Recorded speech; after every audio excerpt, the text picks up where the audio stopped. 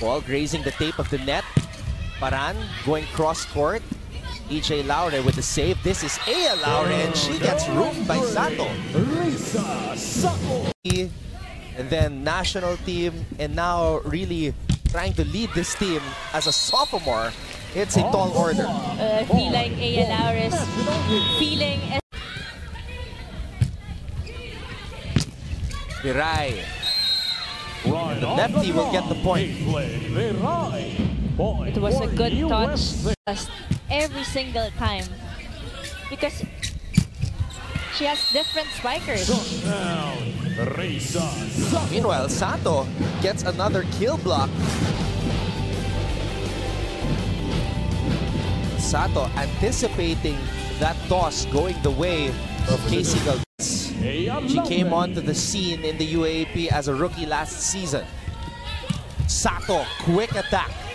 Wow, you UST able to keep it alive, but the push by Bikar too strong. And play is very impressive, playing with a lot of confidence. Chavez to the middle. Speaking of confidence, yan ang paborito ni Risa Sato. That's that's uh that's what's on paper, but you know The her, way her she play, her, her play is very impressive. Playing with a lot of confidence. Chavez to the middle. Speaking of confidence, yan ang paborito oh, oh, ni Risa oh, Sato. A JRS Express play of the game. And you know, Sato, every after that spike, quick spike. What a serve from Arroyo. Chavez, who will she go to? Risa Good choice, Risa Sato. the Middle kill. Point for National here. That connection.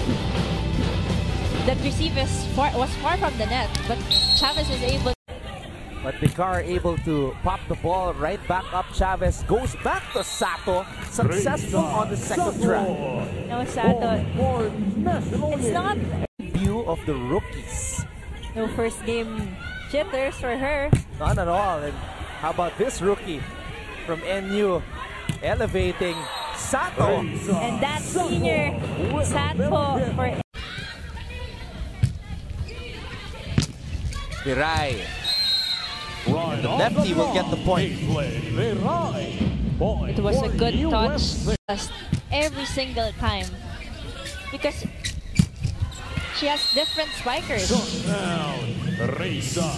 Meanwhile, Sato gets another kill block.